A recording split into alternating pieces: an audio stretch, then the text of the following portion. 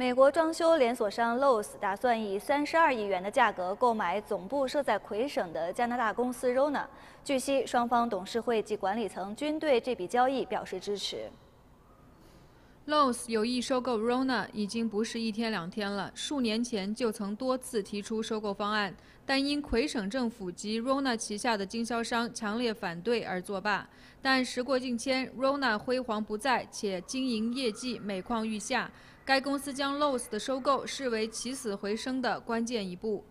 公司主席 Robert s h a v i e r 今天表示，现在是时候行动了，相信这笔交易会给 Rona 家族带来革命性的变化，不仅可以保留 Rona 的品牌，并且有助于利用 Lowe's 在全球的影响，扩展 Rona 的业务。据悉，Lowe's 作出承诺，在收购之后。Rona 加拿大公司的员工、供应商及独立经销商仍然按部就班，不会受到收购带来的负面影响。